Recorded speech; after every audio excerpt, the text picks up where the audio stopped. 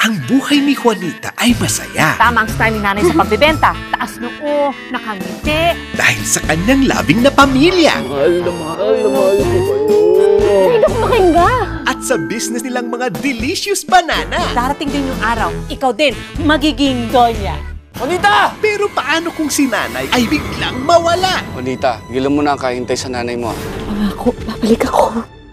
Sa selebrasyon ng ika-anim na pung taon ng Pinoy Soap Opera, matitikman ng isang kakaibang drama. May high blood po ba kayo? Sakit sa atay, anemia, allergy. Isa lang sagot dyan. Sagi. Tama. Hindi susuko ang ating fantastic bida. Nakakaitim yan. Maputi naman ako. Nakakaamoy araw pa. Mabango ang pawis ko. Kahit maraming naghahangad sa kanyang sagingan. Binibili ko na nga ang mga lupa nila para mabili natin ang swerte. Ibabalik ko ang dapat na sa atin. Pero kung ang enemy ay ma-inlove kay Juanita, ito ang obrang busog sa fantasy, drama, kilig at comedy. Ang pinakamasustansyang teleserye. Buwaga-buwaga, di ba, te? Juanita Banana! Ngayong lunes na, pagkatapos ng Pilipinas, win na win!